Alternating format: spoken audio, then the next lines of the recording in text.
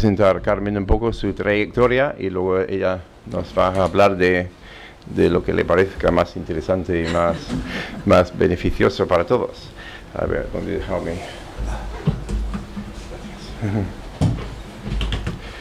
A ver.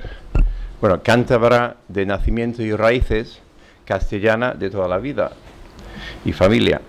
Carmen Ruiz Bravo Villasante nació en San Vicente de Toranzo en 1947, en una familia de una, con una gran, un gran trasfondo intelectual, pues su madre fue la célebre autora y estudiosa de literatura infantil Carmen Bravo Villasante, que algunos de vosotros seguramente leyeron o os leyeron sus libros cuando eran erais jóvenes, muy jóvenes, es decir.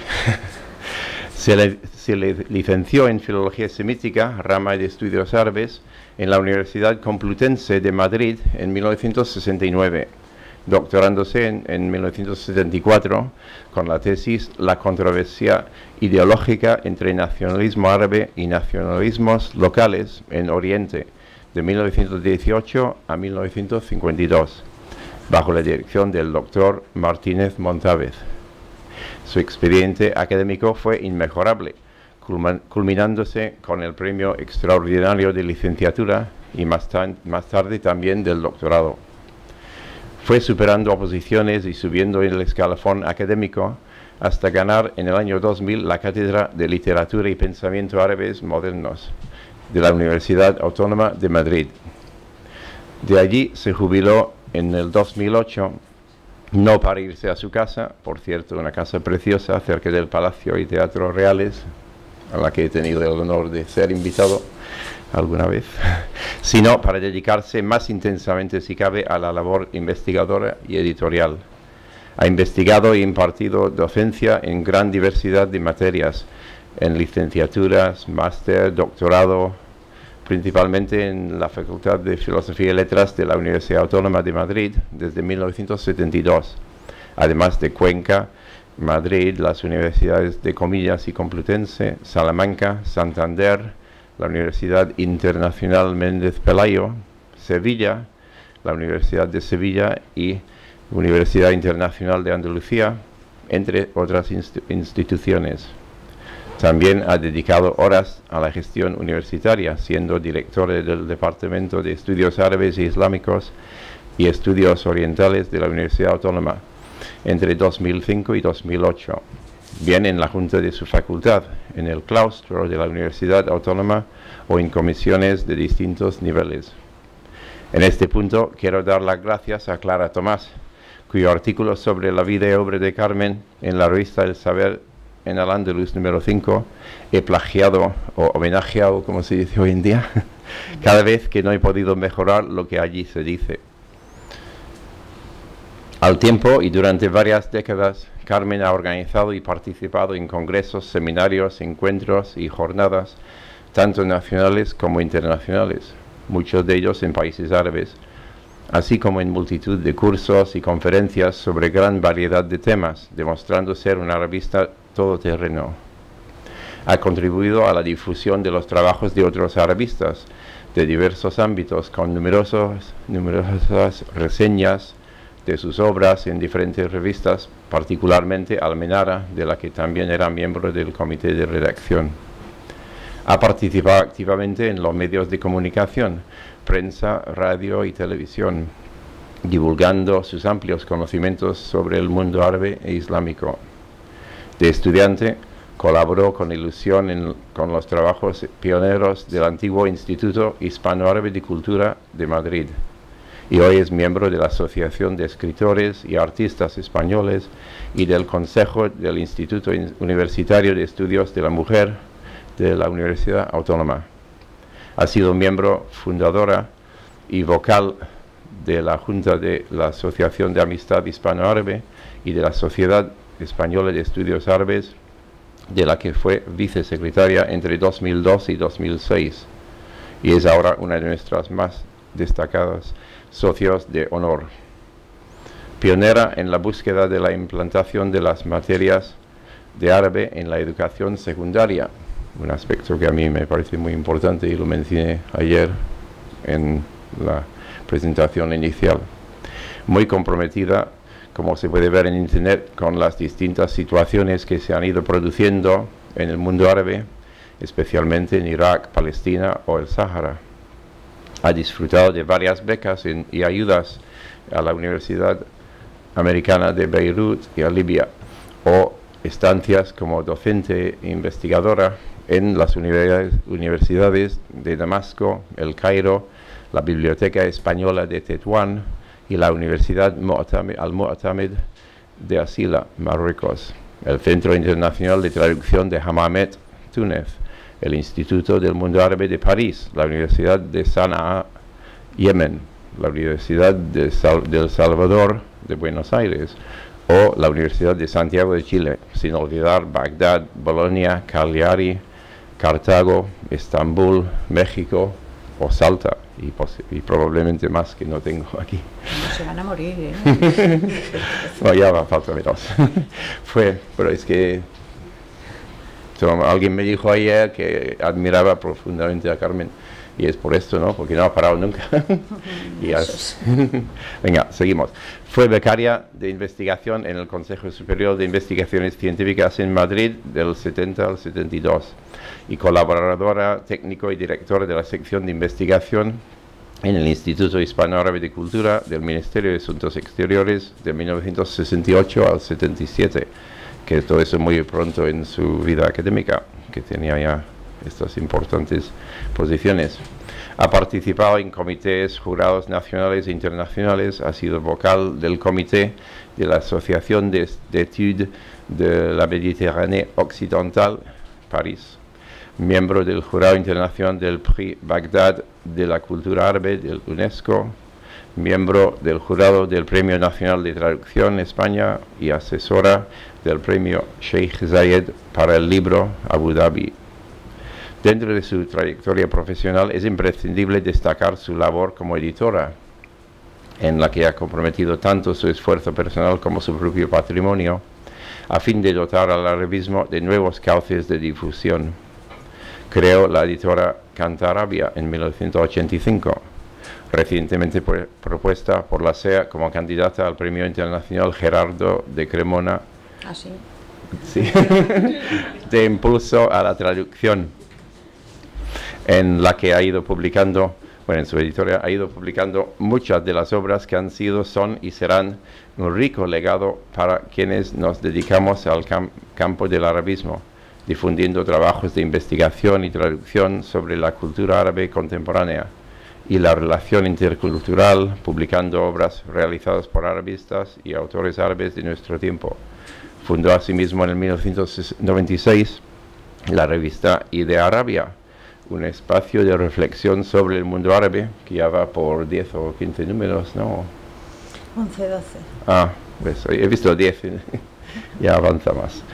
En el campo editorial también ha sido miembro del comité de redacción de la revista Almenara de Madrid y de la revista Temas Árabes de Túnez, o miembro del consejo asesor de la revista Filología Hispalensis de Sevilla y de la revista Thaqafat de Bahrein, entre otras revistas. Ha dirigido numerosas tesis de licenciatura y, y doctorales, ha dirigido y participado en muchos proyectos de investigación sobre muy diversos temas, ha prologado y presentado libros de gran número de autores y ha formado parte de, de comisiones de tribunales y de tribunales de todo tipo.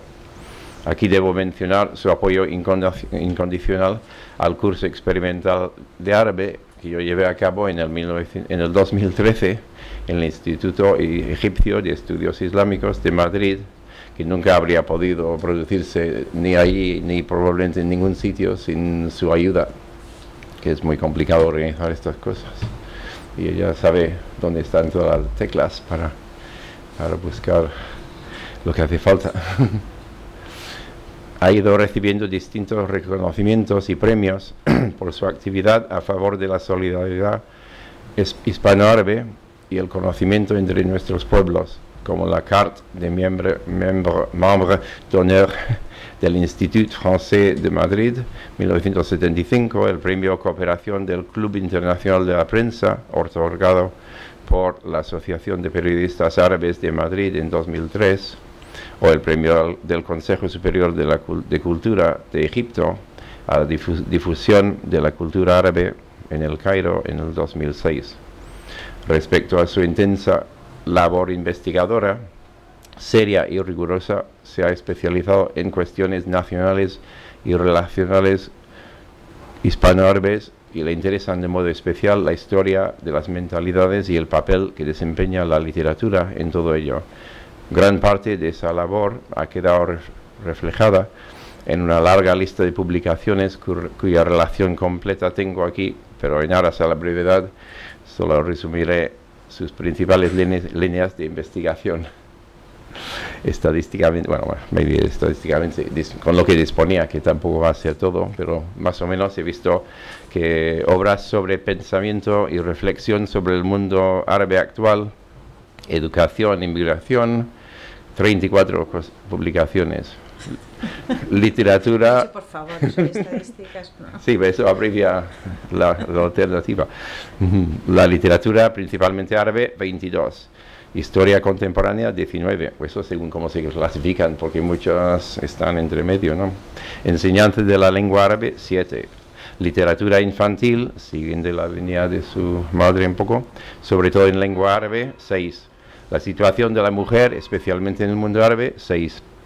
Y la biografía o obituario 5. Y el andaluz 2. Muy poco sobre historia, ¿no? Muy moderno todo, actual ha contribuido de manera importante, manera importante a la difusión de las ideas de un gran número de intelectuales y autores, como hemos dicho, mediante su intensa actividad de traducción literaria, 21 trabajos, que probablemente son 50, porque es la lista que me ha enseñado ahora, traducción del ensayo, tengo aquí 22, reseña de libros y artículos, 21, y la edición de obras individuales y colectivas, especialmente a través de su editorial Cantarabia, y la revista y Arabia.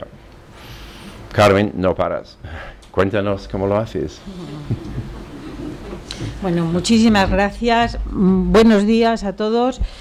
Y ya digo, muchas gracias por el nombramiento como socia de honor de, la Sociedad Española de Estudios Árabes, por vuestra generosidad al hacerlo y por la invitación además en sentido literal del término, al viaje y a la estancia en este congreso y además porque sea en Almería donde nos reunimos porque es una ciudad con la que tengo unos vínculos muy entrañables y que con el acto de hoy, con la reunión de hoy, se hacen aún más profundos y más en la compañía de todos estos eh, galardonados y compañeros que están aportando tanto, a los que tanto admiro.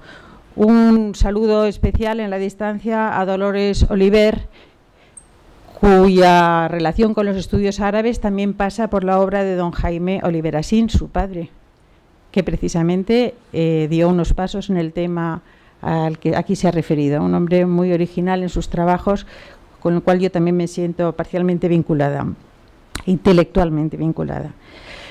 Y como nos habéis elegido, nombrado y concedido ese honor de tal manera que la pertenencia a la SEA y el, haber sido miembros, socios de la SEA durante mucho tiempo, pues es una de las razones de este nombramiento.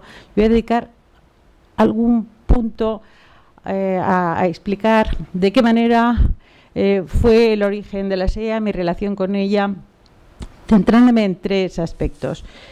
Desde luego yo creo que pertenecí o me, hice, como se suele decir, de la Sociedad Española de Estudios Árabes cuando ya estaba fundada, el grupo que, lo había, que había fundado la sociedad ya estaba constituido, pero a mí me invitaron una vez a que fuera al Consejo de Investigaciones Científicas en Madrid para contarme que aquello estaba en marcha.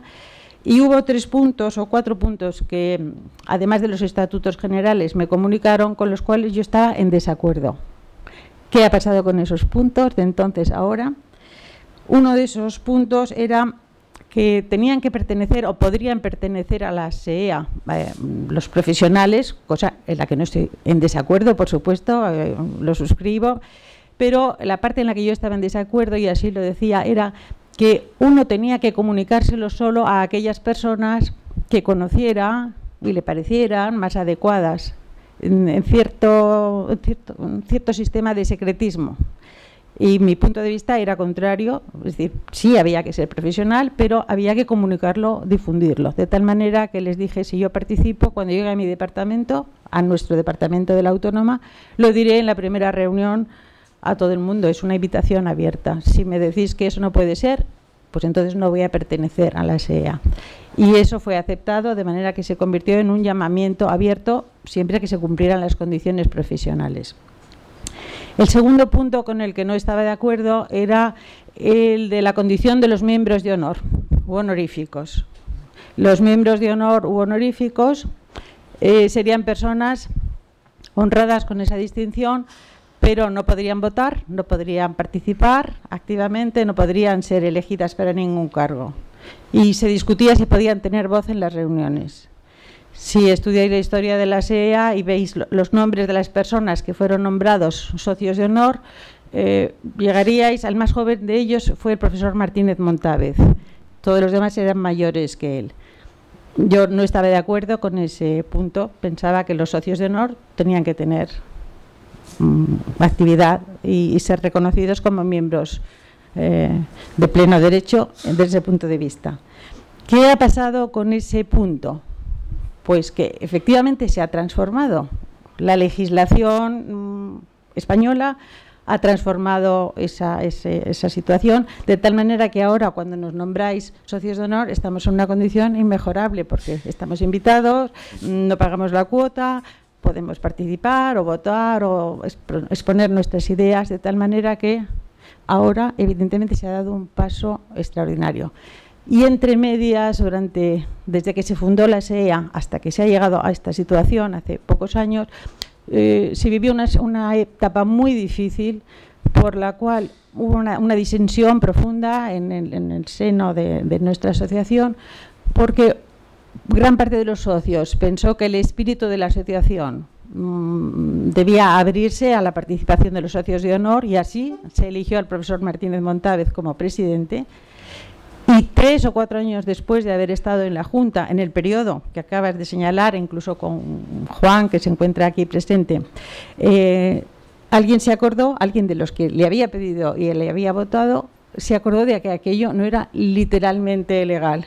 De manera que he formado parte de una Junta que quizá no sea legal. Hemos vivido toda la asociación tres años de ilegalidad al pie de la letra, ilegalidad profunda, así nos atenemos al espíritu de la SEA. Es una historia bastante, bastante curiosa. Y aquel presidente decidió mm, no volverse a presentar para otro mandato, claro. Y el tercer punto es que la SEA nació, y yo estaba en desacuerdo con esa forma de nacimiento, vinculada a Eurames. Esa es la sigla de una asociación internacional europea de arabistas, anglosajona, de constitución, de sede, me parece que en Reino Unido. Y ¿En qué no estaba yo eh, de acuerdo? Por supuesto que estaba de acuerdo en que nos vinculáramos con instituciones europeas, pero en lo que no estaba de acuerdo es que la SEA naciera vinculada en sus estatutos fundacionales a una asociación como una rama de la misma. Pensaba que lo lógico y lo era ser independiente, primero nacer y después inmediatamente vincularse. ¿En qué situación nos encontramos ahora? Pues no he vuelto a leer los estatutos últimos, pero lo que sí sé es que de hecho seguimos cordialmente vinculados a Eurames y también seguimos en la práctica vinculados a otra organización europea, más bien de línea y relación francesa o francófona, aunque me parece que no estamos yendo a ninguna de las reuniones de eh, Eurames y hasta me he visto yo misma, me, parece que me he encontrado hace poco como que estaba en el board y que yo pertenezco a, esa asociación y estaría representando a la SEA, pero de hecho es que no es así. Bueno, esta es una, una manera de entrar en el tema a través de la pertenencia a la asociación. Sí creo que sigue siendo muy importante para todos nosotros, por lo menos como principio, asociarnos, pues porque eh, asociarse crea un foro, nos ayuda a conocernos, a los más jóvenes a conocer a los mayores, a los mayores conocer a los de otras generaciones, conocernos de hecho y no solo a través de lo que escribimos, con lo bueno, lo malo, las decepciones y las ilusiones, enfrentamientos y cualidades que todo esto puede producir. Y ahora pues pasaré a otra parte más más personal. Yo reconozco que hay bueno, muchas cosas que he hecho mal, pero desde luego una, una ha sido el no poner un currículum, por lo menos mío, el, en, asequible por Internet. Si buscáis un currículum del cual yo sea responsable o que yo haya confeccionado o ni que haya participado, creo que no hay ninguno. Y así, pues me he escondido un poco. Mm, yo creo que estaba muy harta de hacer currícula a lo largo del tiempo y me comprometo a, hacerlo, a hacer una paginita, un currículum, un, algo, algo que le dé a conocer a uno, a los demás, porque es algo que se debe.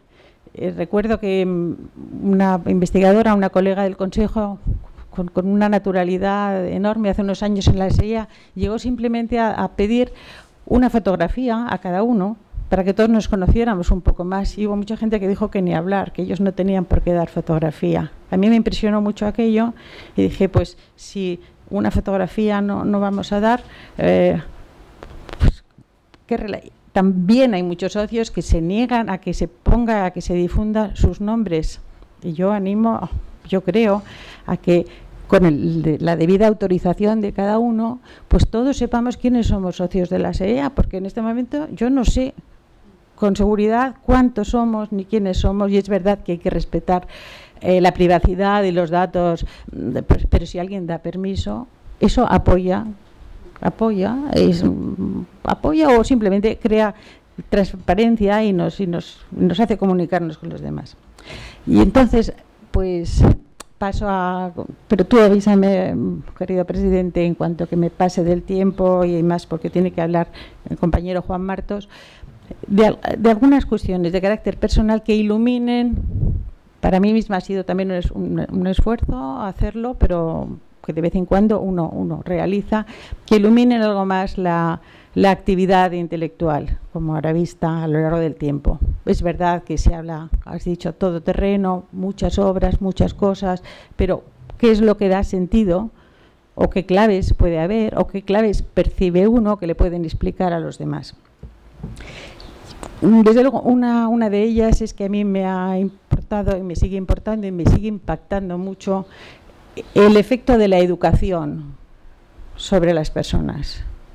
El efecto del sistema educativo que yo he ido recibiendo desde la escuela, desde la infancia, la escuela, la universidad, yo percibía que en mí era sumamente importante ese impacto y también descubría que quizá era, probablemente con gran probabilidad, era un campo en el que yo pues podría actuar, me sentiría a gusto actuando, podía contribuir en lugar de en otros campos laborales. Mm, mm, igual que me parecía sumamente importante, me preocupaba que el impacto de la educación fuera tan, de la educación o de las lecturas, de educación directa o indirecta, fuera tan importante porque era como restarle a uno libertad. Uno recibía una cultura ya formada y tenía que tragársela o aceptarla y, luego hacer quizá un esfuerzo enorme para contrarrestar aquello que no correspondía con la realidad. Esa dialéctica entre lo que se recibe, lo que uno enseña, lo que uno descubre en la realidad, me, pareció sumamente interesante y creo que es pues una de las, de las claves que a lo largo del tiempo mm, me siguen motivando, incentivando, etcétera. Y después esto se va concretando en aspectos muy de detalle. Yo lo voy viendo con vuestra ayuda, con la ayuda de los demás, estudiantes, compañeros, la vida, los otros, que unos a otros nos, nos aclaramos y nos leemos. Por ejemplo, pues muy de pequeña, esta pertenencia por un lado a la capital, a Madrid, y por otro lado a San Vicente de Toranzo, en Cantabria, un pueblecito del que era mi familia paterna. Mi padre era perito agrícola, era de Madrid, pero su familia era de esa zona, un pueblecito de Cantabria. Pues sí, siempre me hizo, creo, ahora con, con la distancia y con la perspectiva, siempre me hizo pensar qué relaciones había entre la gran ciudad y el mundo rural y el mundo pequeño de los pueblecitos y también me hizo pensar con frecuencia en la inmigración, la inmigración en nuestro propio país o la inmigración de tanta gente del norte eh, de España, en este caso, eh, a América, por ejemplo, a México, donde mm, gran parte de nuestras familias tiene un tío en América que no es la América del Norte, es la América Central o la América del Sur. A nosotros, cuando íbamos por Santander o por San Vicente de Toranzo, casi, siempre Santander, largos veranos mm, de vacaciones, la gente de Santander o del pueblo nos llamaba madrileños. Nos llamaba madrileños, los niños nos llamaban. Y a mí, mis hermanos, dos nacidos en Madrid y uno nacido el mayor en Tarragona, me decían en broma, claro, paleta, y yo les decía, paleta y a mucha honra. Así que entre unos y otros, esa es una anécdota. Me dijo el presidente, ¿puedes contar anécdotas? Una anécdota mm, que indica cómo desde la infancia existen elementos que dejan su fuerza y sobre los cuales uno está volviendo. A este respecto os recomiendo, si me permitís ya como lectora y desde la hora mismo, que leáis un libro duro pero al mismo tiempo muy salvador, que es el de Henning Mankell, el autor sueco, que se llama Arenas Movedizas. Alguna persona dice que lo está leyendo. Y como yo me he visto representada en algunos momentos en su obra, Arenas Movedizas de Mankell, que acaba de sacar ahora, porque él describe cómo ciertos elementos de la infancia le dejan tremendamente impresionado. Son, como dice algún otro escritor eh, irlandés, son epifanías. Son momentos en que un niño o un mayor tenemos una luz especial que nos da certeza, nos permite penetrar. Eso fue, por tanto, una, de esas epifanías. Otra, eh, a lo largo del tiempo, ha sido el, ir descubriendo que nuestro país, lo que llamamos nuestro Estado español, nuestro país, está constituido por muchas zonas diversas, que qué necesario sería conocerlas todas, es una ampliación de aquello primero que decía entre la ciudad y el campo. Ahí mi padre nos lo dijo incluso explícitamente. Yo recuerdo una frase, bueno, él murió cuando yo tenía 17 años, o sea que, y sin embargo recuerdo esto. Mm, dice, yo, pues una de las cosas de las que me enorgullezco, decía, es que conozco todas las provincias españolas. Decía provincias, entonces era así. Y eso es algo que todo el mundo tendría que hacer. Y a mí se me quedó aquella idea y siempre digo, bueno, a ver cuál me falta, a ver este cuánto ha viajado por España. Lo cual sería ampliable es ampliable a la experiencia de Andalucía. La tuve muy pronto, eh, como decía nuestro presidente, en relación con los trabajos de mi madre de investigación, no ya sobre literatura infantil, sino más bien la literatura del 19, sobre Juan Valera. Entonces, con, yo creo que con nueve años o algo así, a mi hermano mayor, que tenía diez, y, o yo tendría ocho, pues nos llevaron mis padres a, por el campo de Andalucía, por Cabra, por el campo, por la propia Córdoba, hasta la propia casa de Juan Valera. Y entonces yo tuve el contacto directo con otra geografía, otro paisaje, otro que no era tan otro. Lo sentía propio y lo sentía nuevo y diferente. Era muy culto y al mismo tiempo muy popular. Y esa inmersión primaria primera en Andalucía me produjo mucho, mucho impacto, pero ese impacto, y resumo, luego como de manera cíclica a lo largo de la vida lo he ido experimentando en Andalucía. Antes os decía aquí en Almería, eh, cuando estaba en primero en la facultad, el profesor Azcarate, catedrático de arte, al cual también me siento, ya falleció muy vinculada, nos llevó a Granada. Y Granada, la Alhambra. La Alhambra de noche, el primer día de llegada. La Alhambra sin puertas, sin, sin los guardianes que ahora existen, en la, Alhambra nos distribuimos libremente, algunos nos escapamos, lógicamente, y de pronto yo descubrí, pues es, casi una imagen poética y artística, pues la luz de la luna atravesando las claraboyas de los baños de la Alhambra. Es, es una imagen simplemente de la fuerza del lugar, de cómo los lugares, cómo los sitios, creo que por mi manera de ser y otras personas les puede suceder igual, tiene una fuerza especial, tiene también una fuerza de atracción que a mí me seduce, los estudios sobre el lugar, la atracción del lugar me importan, tienen algo de, mágico, me atraen mucho y me obligo al mismo tiempo a distanciarme para mm, que no sea una magia que te domine. Es decir, la tensión entre lo que te domina y, y lo que tú te quieres liberar, a mí me ha ido acompañando a lo largo del tiempo. De ahí que la relación con la imagen, con el lugar y con la imagen con la sensación artística me, guste como tema, entre en ella a través de la literatura o del arte o de tantos otros caminos posibles. Y al mismo tiempo los medios de comunicación, el lenguaje y al mismo tiempo lo refrene mediante la crítica, mm, lo racionalice y me defienda del excesivo impacto. Ahí os voy a poner dos ejemplos. Uno, una niña que está en las cuevas de Altamira, las reales, la cueva auténtica, con cinco o con seis años y que tiene a los bisontes con aquel color que tienen a medio metro encima de su cabeza. Eso es inolvidable y eso es algo que recuerdo constantemente, pero en un terreno mucho más contemporáneo y más parecido a las intervenciones que esta mañana tan excelentemente nos han presentado los jóvenes investigadores, la imagen contemporánea. ¿Qué impacto de estos inmediatos contrapongo? Pues estando en Londres, a lo mejor con 14 años, la primera vez que vi que un anuncio de una bebida podía cubrir la fachada entera de un edificio me, produjo una sensación de revuelta, de rebelión contra el dominio de la imagen y de preocupación que todavía ahora recuerdo cada vez que ahora todas nuestras ciudades están cubiertas de anuncios y nos parece absolutamente natural. Pero yo entonces lo, sentí, fue la, la percepción inmediata y directa sobre la relación entre la fuerza de la imagen y nuestra posibilidad de, de escaparnos de ella. Decía Andalucía y digo Cataluña. Eh, éramos la mayor parte de nosotros absolutamente desconocedores por defecto educativo de la realidad cultural catalana, la gente que vivíamos en el centro.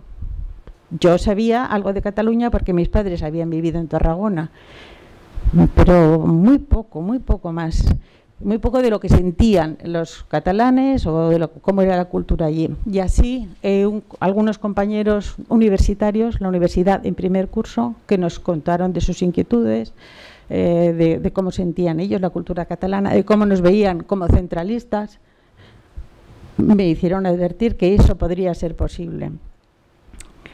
Ahí, como veis, eh, estoy contando momentos o epifanías de descubrimiento de realidades que la cultura tradicional no nos estaba ofreciendo.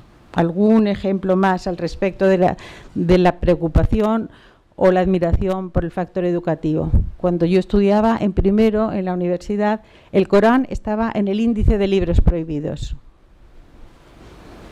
1964 1965. El Corán estaba prohibido y el profesor de árabe nos dijo, ustedes deberían leerlo y acercarse a esta obra. Así que nos puso dos formas de acercarse al, texto. También estaba mm, semi prohibido y no recomendada la lectura de los evangelios y de la Biblia, sin las notas de los santos padres sin los intérpretes oficiales. Algo de lo que yo no tenía ni idea y en ese momento me enteré. ¿Algún ejemplo, alguna anécdota más de, de dónde se viene y por dónde uno se ha ido, ha ido transcurriendo su experiencia? Esta referencia al Corán y a la propia tradición cristiana la hago para que vean o veáis el camino que se ha recorrido y, y por, por, tanto, por qué esa preocupación tan grande que siempre he sentido por el campo educativo y la transversalidad de, los distintos campos que ahí surgen. Mm, bueno, como sé que el tiempo está corriendo y tenemos que ser mucho más mm, sensatos y más... También os diré que el poder del texto, no solo de la imagen, el poder del texto, de la literatura, mm, me preocupaba cuando era, cuando era adolescente, eh, cuando llegué a tener 16 años, una vez en que yo me di cuenta, como Mankel, de repente me di cuenta de que los libros, había libros que engañaban.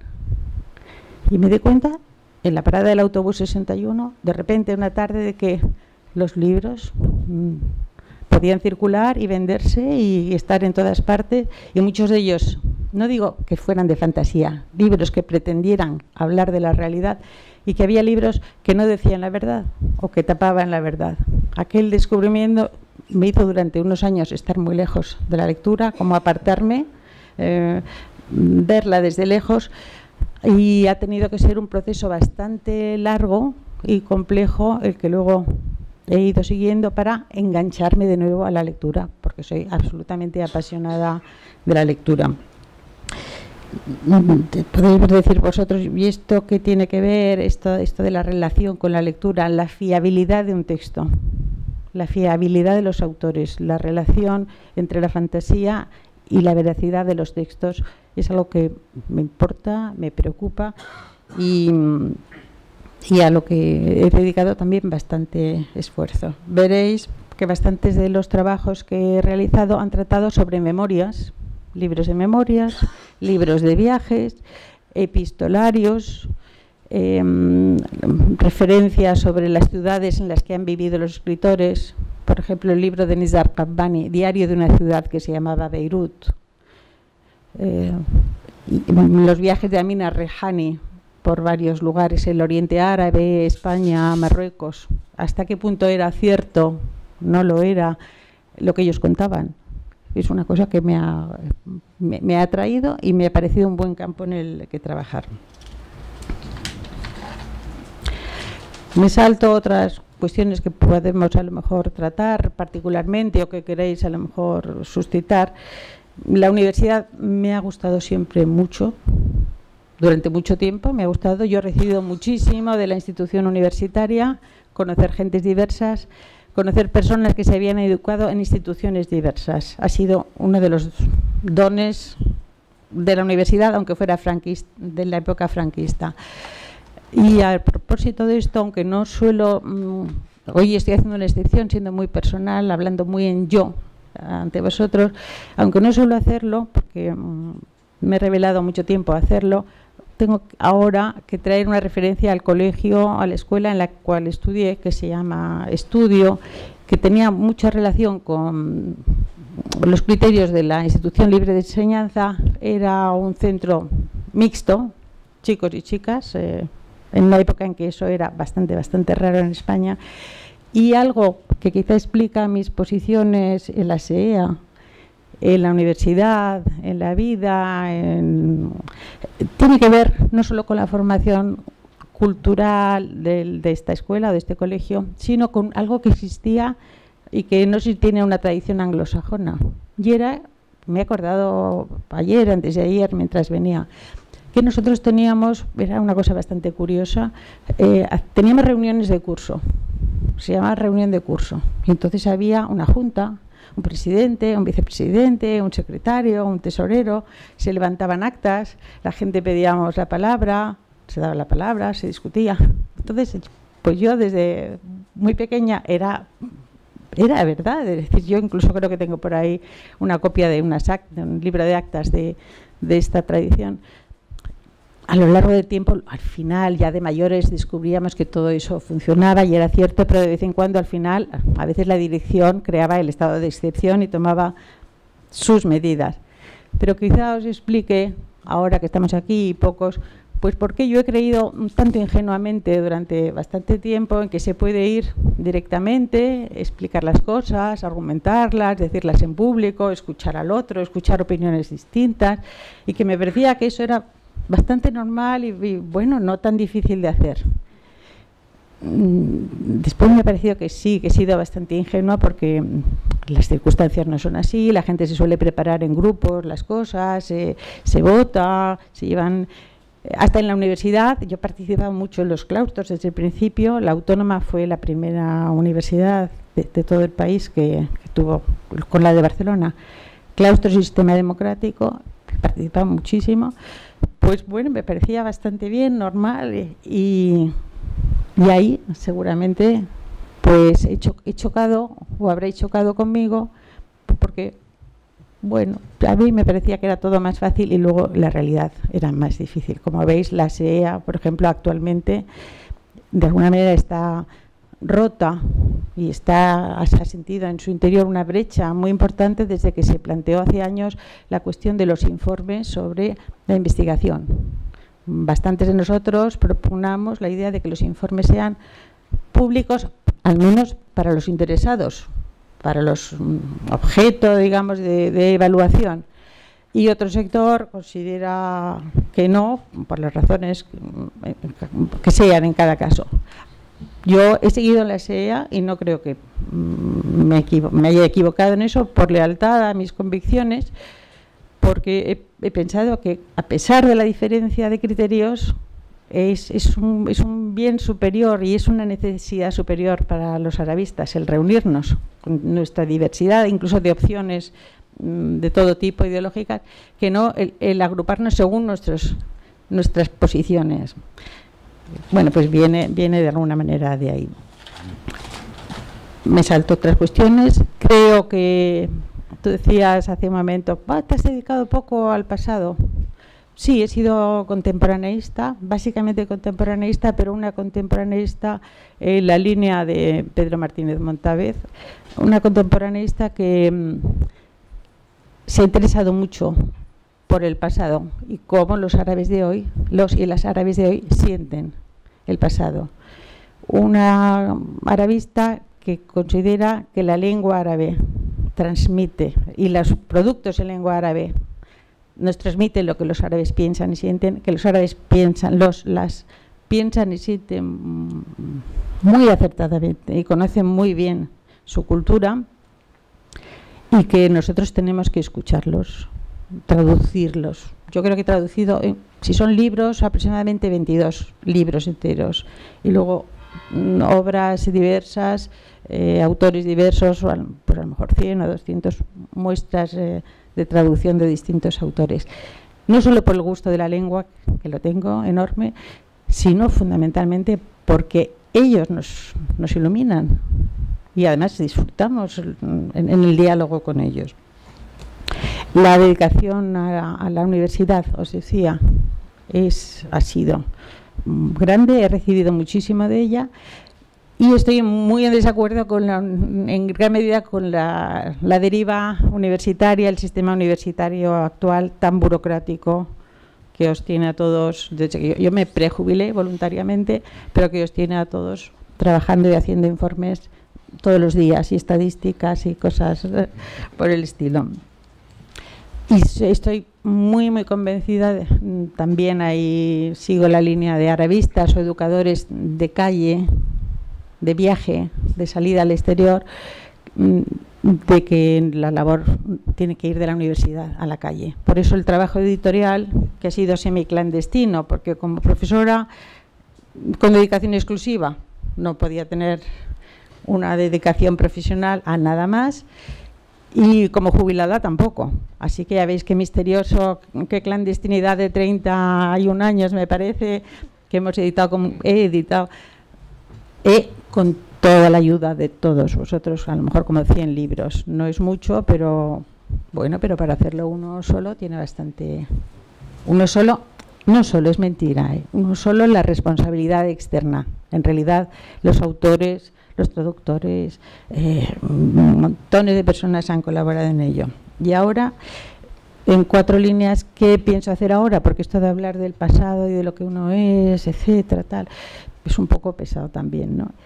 Vamos a ponernos en el presente y eh, os pido de alguna manera también colaboración, como hasta ahora, porque he recibido tanto de los demás, mm, de los, de las, de todas las personas, que de nuevo os lo tengo que agradecer. ¿Qué pienso hacer o qué estoy haciendo?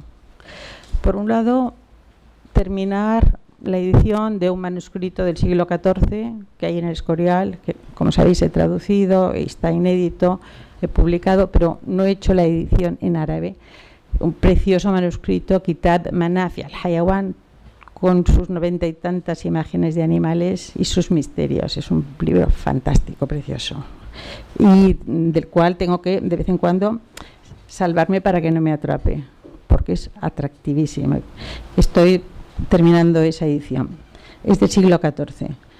Por otro lado, lo mismo con Victoria Greis y Nadia Jallad, pues estamos dando una vuelta revisando el método experimental, este, estos materiales experimentales, las mil y una horas de árabe, que están colgadas en la página de Cantarabia y en experimento es que la SEA eh, colaboró, nos ayudó a hacerlo, a difundirlo y todos, muchos de vosotros también. Está también grabándose una parte. En la Asociación de Amistad Hispano-Árabe, recuerdo, eso no lo hemos mencionado, pero creo que debería recordarlo, pues que, por supuesto, sin cobrar nada, en este caso, durante ocho años fui la coordinadora de clases de árabe y que no eran para universitarios, sino para cualquier persona. Y dábamos lengua y algo de cultura.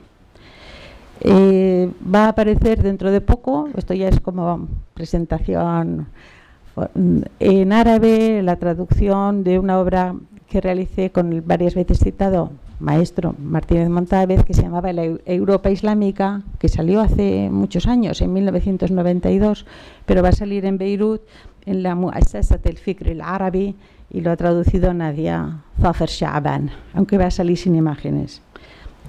De la editorial, lo inmediato que va a salir es la colección de 48 prólogos del mismo profesor y mm, a distintos libros de otras colegas y se llamará En las fronteras del prólogo. Y, os pido ayuda para una cosa concreta.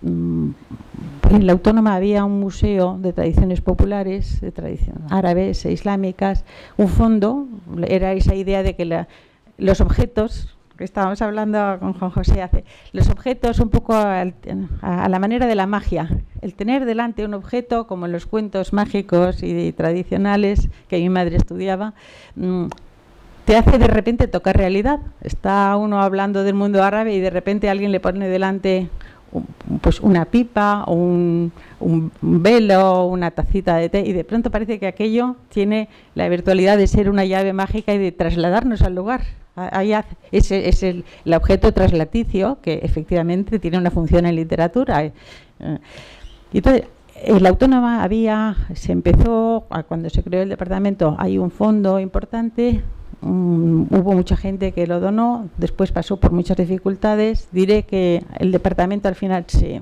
lo abandonó, se inhibió y está guardado, por fin, gracias a Dios, en La Corrala, que es un edificio que hay en Madrid, que depende de la autónoma, pero no está expuesto.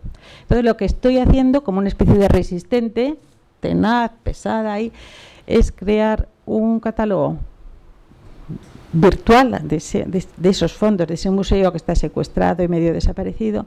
Estoy añadiendo los míos propios, según la misma clasificación, y los de los colegas que queráis que podáis hacerlo.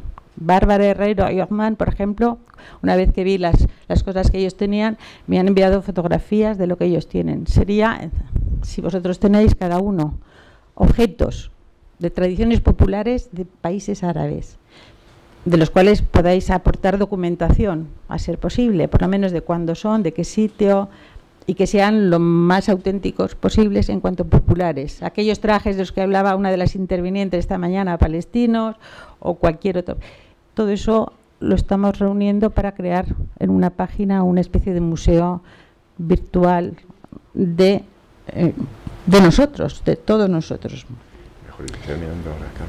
Bueno, ya está, es la hora. Mm, Najib Azuri, Najib Azuri de comienzos 1905 con su descripción de Palestina me espera y su traducción que estoy haciendo y la crítica del periodo de la relación de Nasser con los intelectuales también es el otro proyecto intelectual más, más de fondo. Gracias por vuestra paciencia. Sabemos que la paciencia es hermosa, como dicen en árabe, y aquí me tenéis explotando, diciendo todas estas cosas como una, una parlanchina que ha estado mucho tiempo sin, sin parlanchinear ante el público. Muchas gracias. Muchas gracias.